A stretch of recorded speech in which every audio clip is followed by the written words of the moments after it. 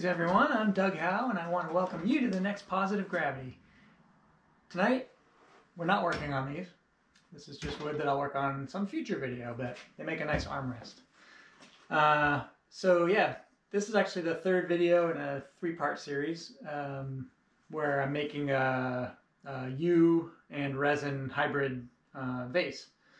Um, the first two videos have been out for a while and then I set this piece aside for a little bit um, and now I've come back to it and in this third video we're going to finish up. So we're going to do the hollowing out and take us from here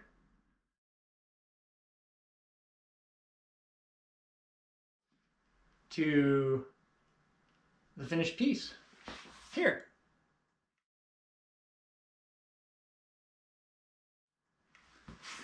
So thanks for uh, hanging in and watching this third part. And uh, don't forget, always enjoy the process. Always enjoy the process. Thanks for joining me, and I'll see you on the next one.